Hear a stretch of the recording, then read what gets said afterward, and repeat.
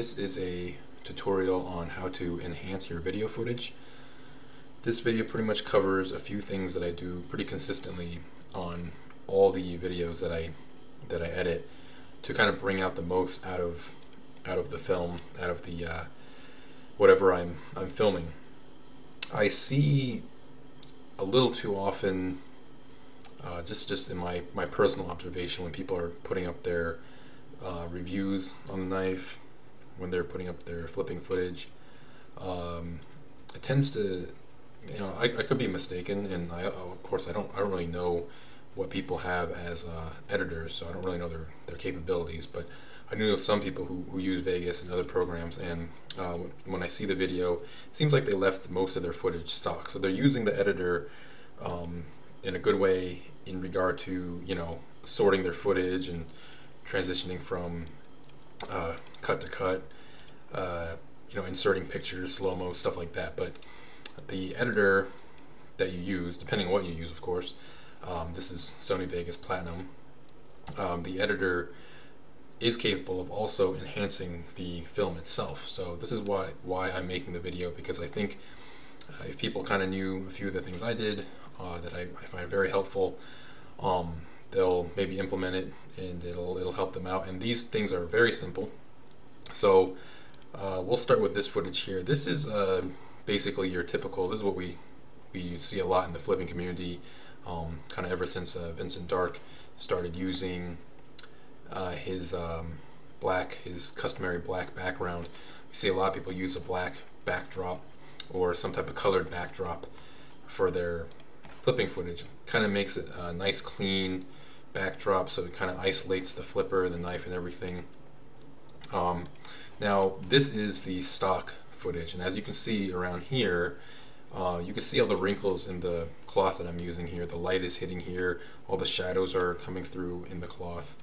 And so uh, and also as you can see the cloth is not really a perfect black. When you use uh, when you buy a black cloth or whatever it is that you're using for your backdrop it, it's not really a true black it's, it's more of a, a, very dark gray especially when the light hits it the light tends to reflect off of it and then you um, you know you you kind of lose the whole effect of it being uh, you know like on this left side here there's not as much light hitting it so this is truly a, a black this is the effect that people want on the right side here, where the light is coming through the window, you see all this um, kind of the uh, the cloth reflecting the light back. So it's not really a true black. So the first thing that I like to do in um, any video is I hit the hit the effects button. This is again, this is uh, Sony Vegas, all all versions. Let me close this so I can show you guys again. It's this button right here, Event Effects. Uh, you can also right click it and you can go to um, Video Event Effects but the quickest way is just hitting this button right here and it'll, it will bring up this uh, this menu um, this is a this is kind of the let me just clarify real quick. When you hit this this is assuming it has no effect right? Because once we put uh, an effect on I'm, I'm sidetracking just a little bit but once we put an effect on hit this again it's just going to go to your effects box here okay? So if you already have an effect on there what you're going to have to do is go to your video effects tab, go through whichever effect you want, and then just drag and drop into, you know, you can just click on it, drag it, and drop it right onto the footage. That's the easiest way. Uh, we're not going to be using these, so uh, actually we are going to use color balance, but not right now. So uh, to start from the, from the top again, we're uh, let's do it from here. Um, going to go to my video effects tab right here. If you don't see it, go to View and um, go to Video Effects, and it'll show up. See, right now it's gone. I'll go to View, Video Effects, and there it is. If you want to move it around, you can. Uh, first thing I always like to do with any footage that I have is brightness and contrast. And drop it right in here. Uh, most videos that I do benefit from this effect, like probably 99% of them. There's a few that actually don't need it, but um, your stock camera, depending on your depending on the lens that you have, depending on the lighting set setup that you have, um, if you're using, you know, maybe you're shooting in the day or whatever, this um, this may play more of a part or less of a part. But I found that even under good lighting, brightness contrast um, always will help kind of balance out the way you intend the film to look. Now, first thing I like to do, um, this was shot in decent lighting. This was shot with uh, sunlight, but I will always just uh, mess with the contrast first. As you can see right now, if I increase the contrast a little bit, I get uh, immediately it takes away all that, all the light reflecting off the cloth. So that's kind of nice. But we do, we are a little bit too dark here, so I like to turn um, turn up the brightness a little bit. Now, as you see, when I turn up the brightness, everything kind of comes out again. So to counteract that, I have to I have to turn up the uh, the contrast a little bit more. So basically, I like to kind of play around with this and um, kind of kind of find the right balance between the two. Uh, your contrast center here, as you can see, this kind of just balances out between these two a little bit more finely. So this is probably a level where I'd like to be because I wanted this entire thing to be truly black and uh, it also kind of highlights the, the flipper. In some cases it can highlight the knife depending on how how it looks. Actually, and, and keep in mind, in some cases uh, this can actually make the knife stand out less. This is the replicant prototype, and as you can see, um, without brightness contrast, if, uh, by the way, this little check checkbox, if you uncheck it, it'll show you what it looked like looked like originally with the effect off, and once you check it on, again, it's with the effect on, so you can kind of compare the two. So, as you can see, with it with no brightness and contrast, you can kind of see the knife a little bit better. This is a dark color scale on the on the replicant, so that's why when you actually put brightness and contrast on, you're actually blending it into the background a little bit more. So that might be a, a con in, in using it. So you kind of have to weigh it, weigh it out, and, and again, you know, look at your footage, preview it, and, and see how it's affecting it.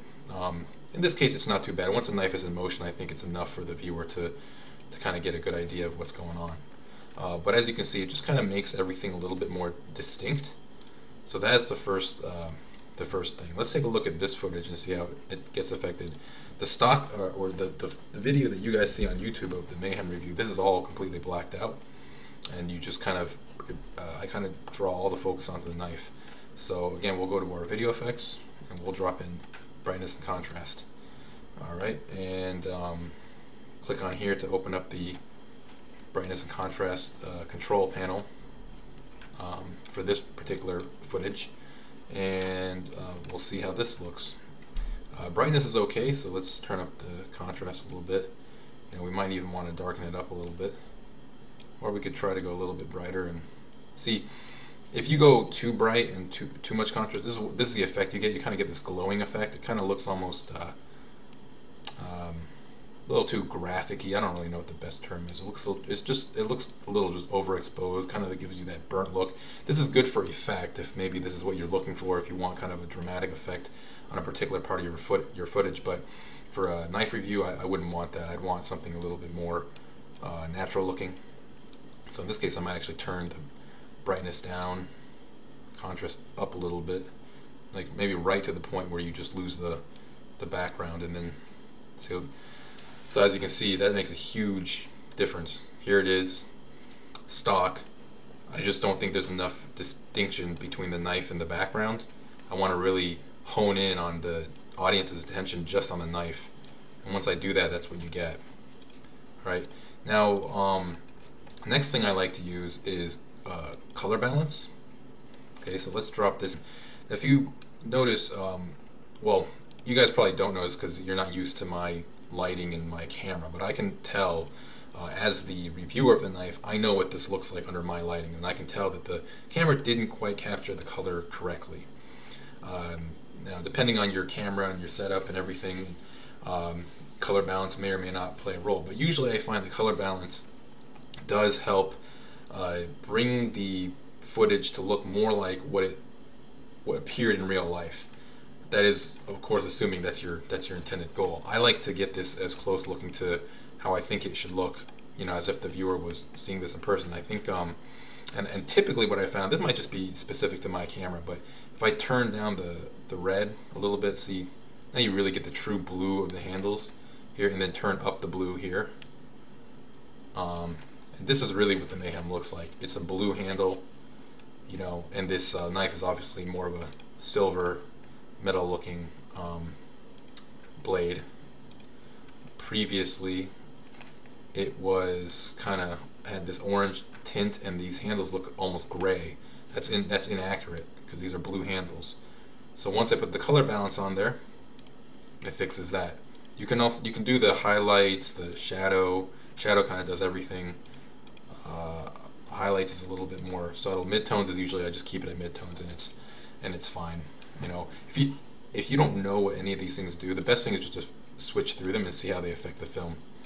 You know, that's really how I learned. I, I really couldn't explain to you the technicalities of everything, but um, just experiment with them and see what, what you like.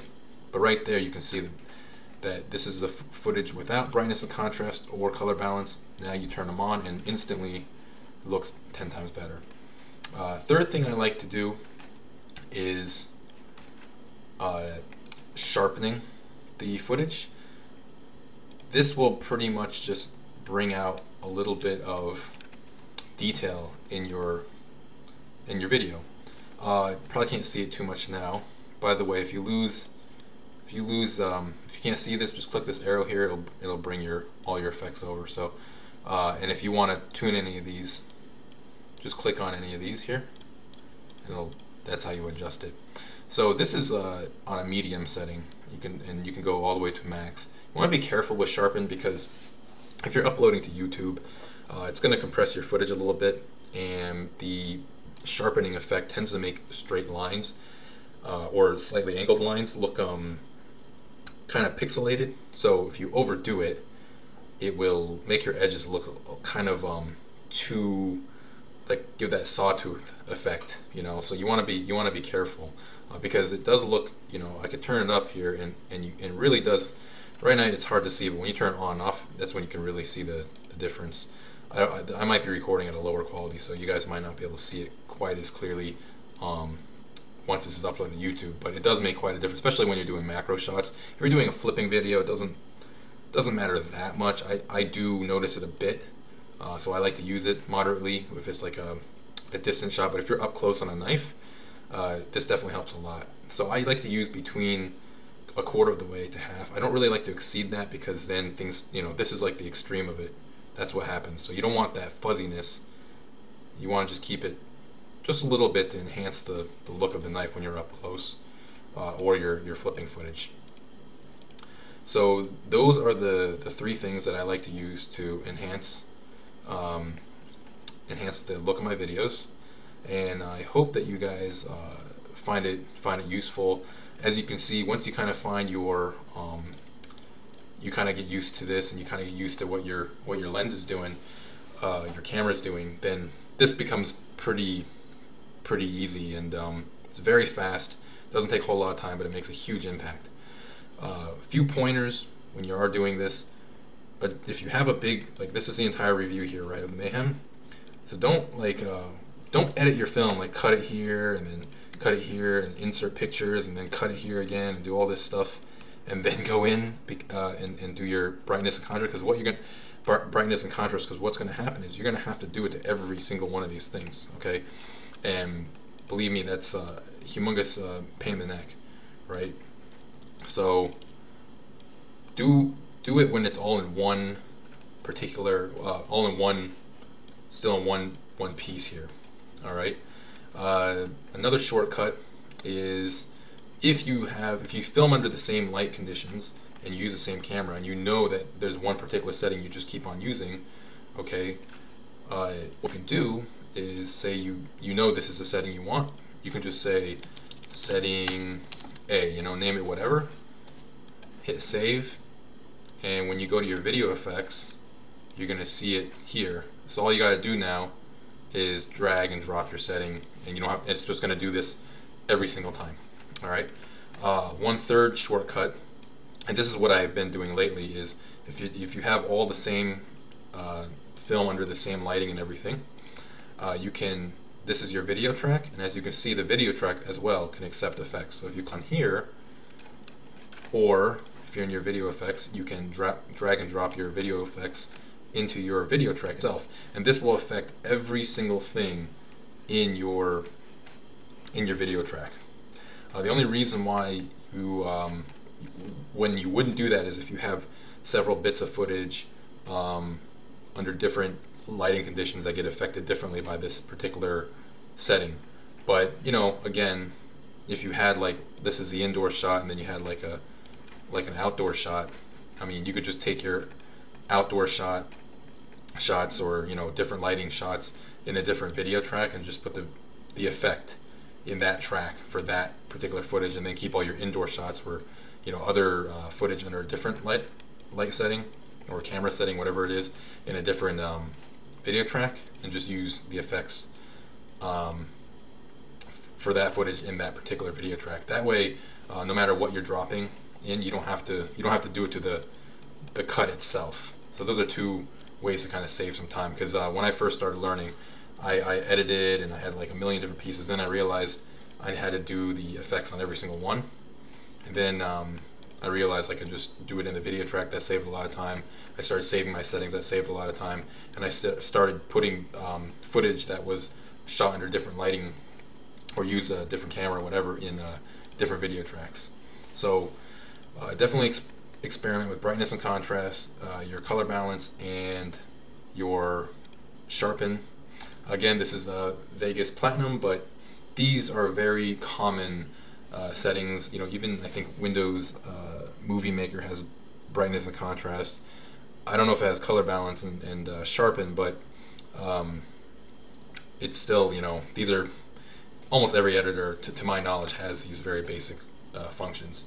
So experiment with them, see what, what results it yields, and hopefully uh, you guys found this tutorial helpful. And if you have any questions or comments, leave them below. And as always, thanks for watching.